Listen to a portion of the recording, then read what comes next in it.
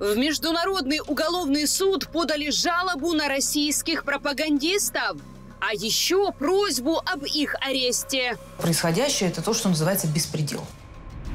Так, Международная федерация за права человека, ее партнеры направили обращение в офис прокурора Международного уголовного суда в Гааге и попросили выдать ордеры на арест шести российских пропагандистов. Об этом говорится в пресс-релизе организации. В данный момент есть один ордер, который касается обвинений российского руководства и, в частности, Э, детского омбудсмена, ну и в конечном счете самого президента Российской Федерации в похищении украинских детей. Э, вот, и соответствующий орден он, он есть, но это не единственное дело, которое рассматривается и которое потенциально может служить основанием для выдачи соответствующих ордеров.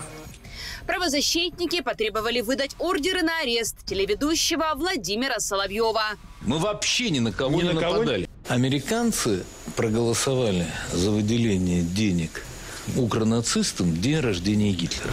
А еще главного редактора телеканала Russia Today Маргариту Симонян. Если бы Россия вела себя как эти нацисты и бомбила бы мирные города, я бы сейчас здесь не сидела. Понимаете?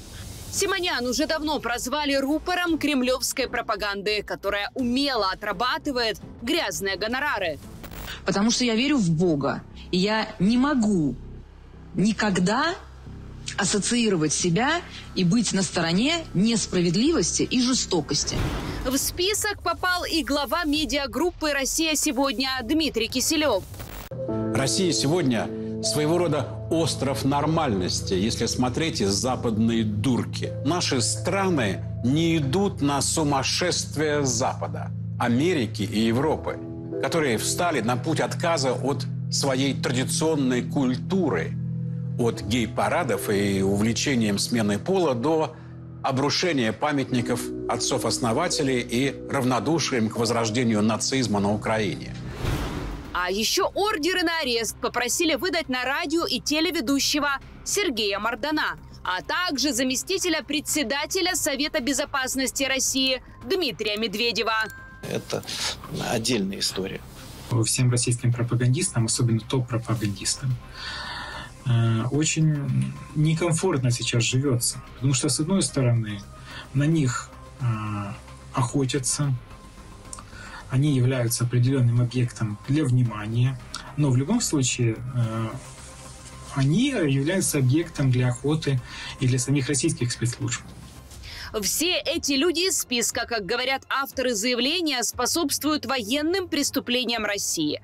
Все они причастны к кампании по распространению ненависти к мирным жителям Украины. Как заявляют правозащитники, все эти действия можно квалифицировать как преступления против человечности. Эти грубые нарушения прав человека были бы невозможны без дегуманизирующей кампании российских пропагандистов, которые также виновны, как и те, кто нажимает на курок, убивая украинских граждан. В Международной Федерации за права человека считают, что первый зам главы администрации президента России Алексей Громов, человек, отвечающий за государственную пропаганду на российском телевидении, также несет ответственность за преследование украинцев с помощью языка ненависти.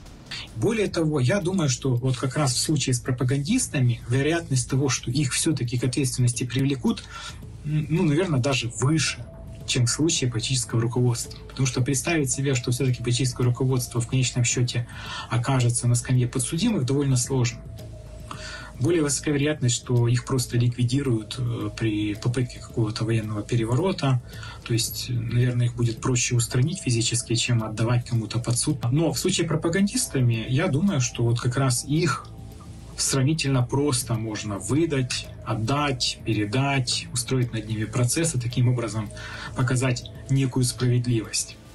Рамках своего обращения правозащитники проанализировали более двух тысяч видеозаписей с высказываниями российских пропагандистов, которые те сделали в период с 24 февраля 2022 года по 24 февраля 2024 года. В ходе анализа удалось выявить более 300 высказываний, которые сочли проявлением языка ненависти в отношении украинцев. Каждый день украинцы гибнут под российскими бомбами. Украинских гражданских лиц в оккупации задерживают и пытают. Украинских детей депортируют в Россию. А все потому, что Россия хочет сделать их частью русского мира.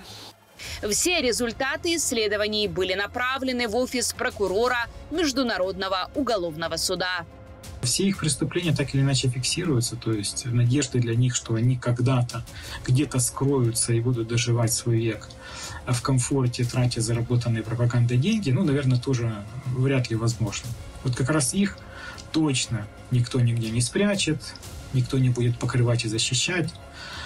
Вот, так что я думаю, что мы еще когда-нибудь увидим и суды над ними, а возможно и расправы без суда и следствия.